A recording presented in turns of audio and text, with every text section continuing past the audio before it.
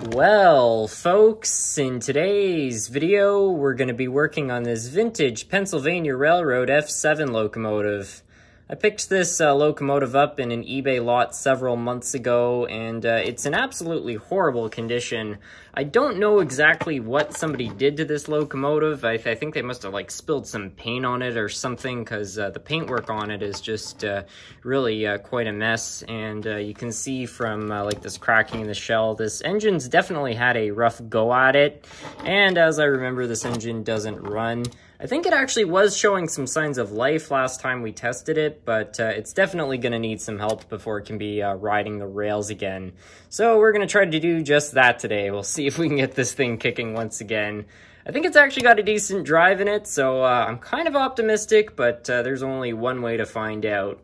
Anyway, let's take this thing over to the track. We'll uh, kind of try to test it out again, see if we can kind of diagnose exactly what's going on with it, and then we'll go from there and see if we can get it running. Let's begin. All right, let's see if she'll do anything. I think this thing did move a little bit, but uh, certainly is not going to be a perfect runner. I can uh, pretty much guarantee you that. I'm giving it some power right now. Um, we can see the light is actually working a little bit. The light's actually on. Uh, it seems like the motor isn't getting power or something. Yeah, I don't know uh, what the situation with this engine is, but uh, something seems to be wrong with the drive. Uh, it's it's like it's trying to go, but it just uh, it won't. And uh, this whole light thing is a little bit concerning because we're not hearing anything from the motor, but the engine is clearly getting power. So uh, yeah, there's clearly some kind of an electrical issue. I'd imagine probably with the brushes. So yeah, let's bring this thing over to the workbench, crack it open, and see if we can get it kicking again. All right, let's begin here. We're gonna start by uh, trying to remove the shell. I think it just comes off like it does on pretty much every other brand of F-unit by just pulling away at these uh, tabs right here. Um, yeah, it seems to be coming out. And, uh, well, there we are inside. Look at that drive. I don't know exactly who this locomotive was made by. It looks to me like either a very early Lifelike or a very late Varney, because uh, uh, Varney actually uh, is what created Lifelike ultimately. So the very old Lifelike locomotives are actually uh, late Varney engines. Uh, inside here we can see, uh, first of all, we got this weight which uh, appears to be out of place. I think it's supposed to be uh, sitting like that. So uh, that could already be the source of some of our problems. but overall, um, let's have a look at all of this. see, this is out of place too.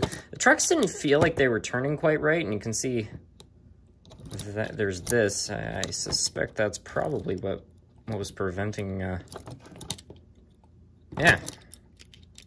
Okay, so there's another problem uh, already fixed. Know, uh, this all seems to be it's turning okay, but uh, I want to put some leads directly on the motor and see if we can uh, get it to turn over under its own power, and then we'll uh, we'll go from there.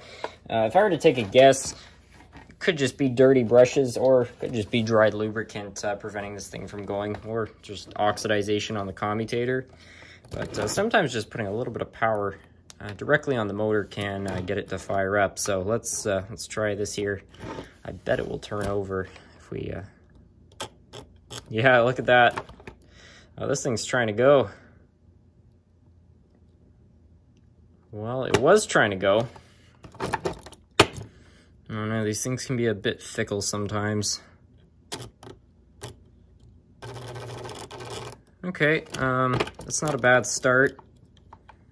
It's not running terribly fast. I mean, we're giving this thing full power right here, and it's not, uh,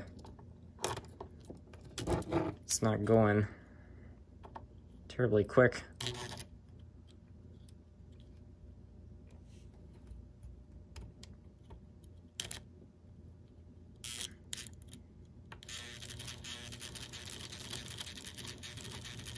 Yeah, okay. It's running. Uh, that's a really good sign, uh, but it's clearly not ready to go. First of all, I think we should take these brushes out and maybe uh, clean the commutator. And also, just with how this is turning, I'd imagine the lubricants in both these trucks have probably long gone bad. Uh, so we'll probably want to open both of those up and uh, sort them out as well. But uh, overall, hey, at least we know the motor uh, does actually run. It just needs a little bit of help.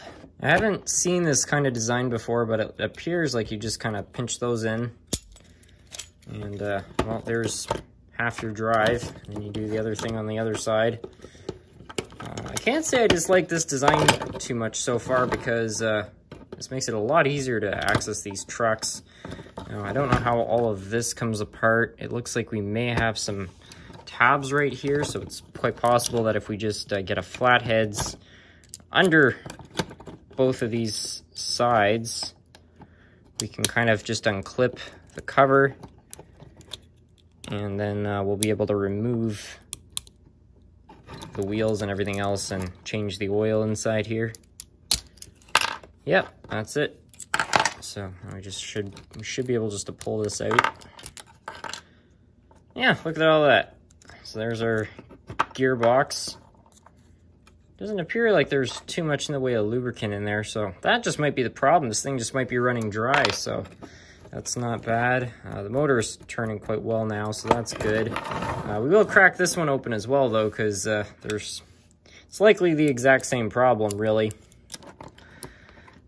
And uh, you can see we just get that clip out around that side there.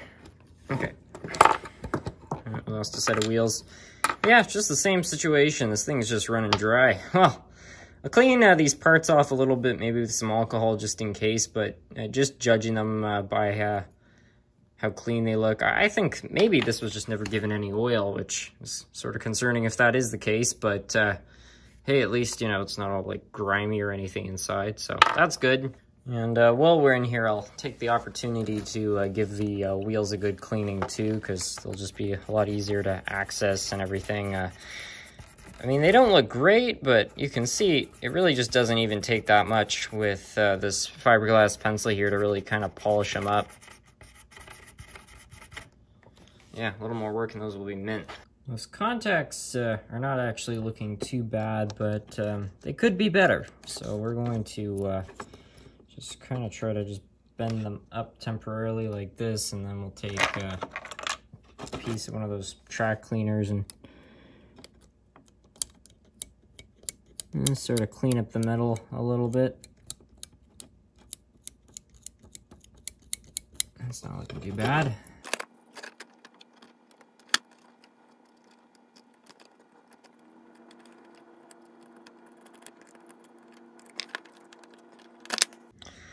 So I had a really close look over this and I just really could not spot any signs that this was ever lubricated. Um, so I'm starting to wonder if this locomotive uh, was actually part of a kit and the person who put it together maybe just didn't know that uh, you're supposed to uh, oil these things up. Um, but in any case, uh, at least the gears aren't stripped. I guess this engine just never uh, really ran that much, uh, which saved its gearbox because if you run something like this without any oil, you're not going to be you're not going to have your gears very long. But uh, yeah, it uh, would have would have ironically uh, saved this engine. So let's put a little bit of oil on there and uh, put some oil in each of these bearings. And then the uh, front truck will pretty much be ready to go. I've already got the uh, wheels all nice and clean there, as you can see. Uh, you can see there's a bit of an angle too on the uh, teeth of the gears. Let's make sure that, yeah, it's all turning properly. Okay, that looks good. So let's just put this back on and then we'll uh, sort out the front one. Nice.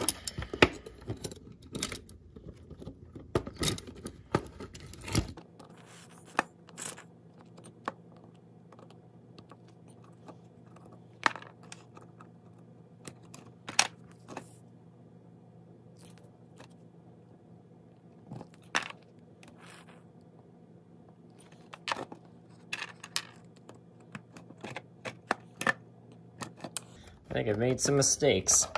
Let me just get this all sorted out and I'll show you what I think I've done wrong. All right, that looks, that looks good.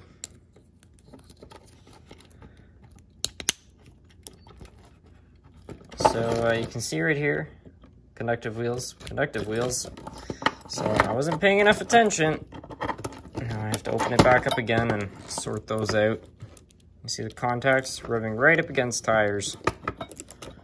Terrible.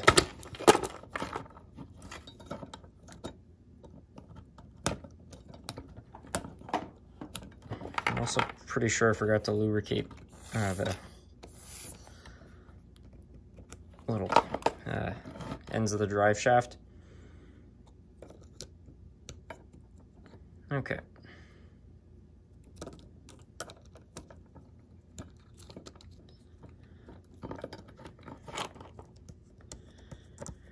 That's more like it. I think uh, this thing has got uh, a decent shot this time of actually running, so that's good. And we just bring this back up here. we got that fixed now. Uh, well, uh, we got this out. I'm gonna try to remove these brushes right here and see if we can do anything to the commutator. It might not be that bad, but it really just won't hurt to have a look.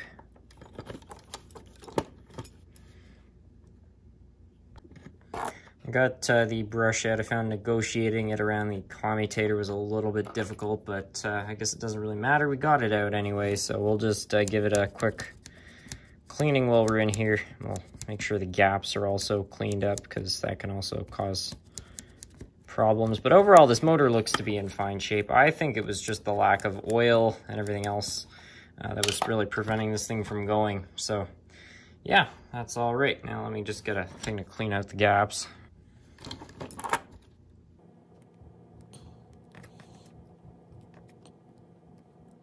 Yeah, this whole thing really just doesn't seem that bad. I think we're I think we're okay to, to put the brush and everything back in. It looks like I somehow took the insulation off both sides of the uh, V-spring right here. Uh, I don't know exactly how I did that. They might have just been so brittle that they just cracked right off, but uh, either way, uh, those need to be replaced. It's pretty dumb, but uh, well, we'll sort it out. Got a heat shrink tube in here.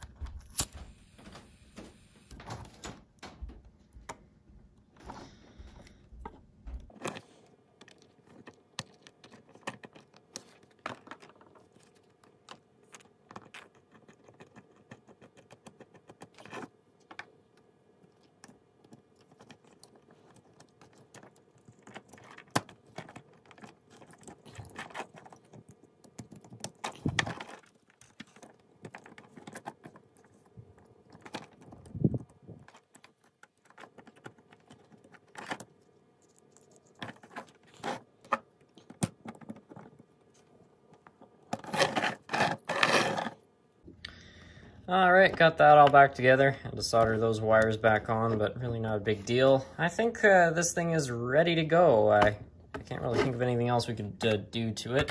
So let's, uh, let's put the shell back on and bring it over to the track. I don't know if the plastic has just become brittle over the years, but I found this, something just doesn't seem quite right about, about it. Here it is all back together. Let's see if our efforts have paid off. Uh-oh. That's not good. Let's try turning it over manually so that will, oh, yeah.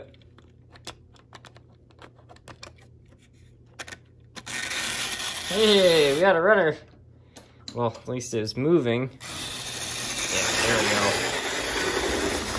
He's a runner.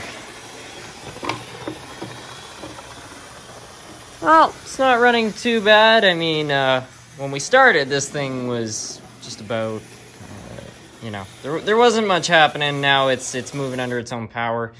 Uh, it seems to be struggling a bit. I suspect that there's just still some dirty spots in the contacts, which maybe they're still sorting themselves out, but I mean, I'll call that a success. It's running. It's starting to pick up speed too, so that's good. Current draw, uh, about what about what you would probably expect for uh, an engine of its age, so uh, it's running pretty efficiently. It's starting to go pretty fast now, eh? All right. It's also turning well, which is good. The whole truck problem uh, seems to be uh, okay now. They've got those metal strips in place. Well, it's now a little while later, and I've uh, let it sort of break in a little bit, let the lubricants move around, let the contacts uh, clean themselves up a little more, and uh, I don't think it's running too bad. It seems to be running uh, fairly consistently, and uh, it's not stuttering too much. It does a little bit in a couple places, but uh, one thing that I forgot to mention is that this engine only has four-wheel contact, so even if it was in perfect condition, it's not going to run flawlessly. But uh, I think for uh, you know the condition we found it in, I really don't think that this is uh, too bad. So yeah, overall uh, very pleased with uh, how this thing turned out. Might not be uh, the best looking engine out there, but it's not a bad runner for, for what it is. Anyways, with that, I'd like to thank you all so much for watching.